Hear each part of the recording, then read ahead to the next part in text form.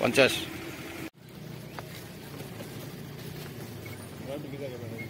আমি না খান্নাদা ঢুকে আমার কথা বলতে যারা বুঝছে আমাদের কাছে খবর ছিল যে আমবাসার থেকে তার ছবি আমি পেয়েছিলাম। সেই লোকটা এসেছে। ধর্মনগর থেকে ব্রাউন নিয়ে শিলচরের ট্রেনটা দিয়ে ও আমবাসাতে যাবে।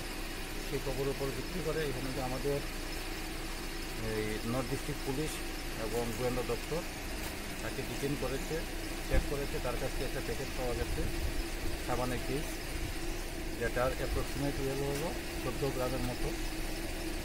তার নাম গৌতম চক্রবর্তী, তাকে অ্যারেস্ট করা হয়েছে। ধর্মনগর পিএসে একটা কেস হবে এখন। ইনভেস্টিগেশন চলবে, কোথা থেকে এনেছে, কোথায় যেতে ছিল সব কিছু বেরিয়ে যাবে ওনার বাড়ি কোথায় ছিল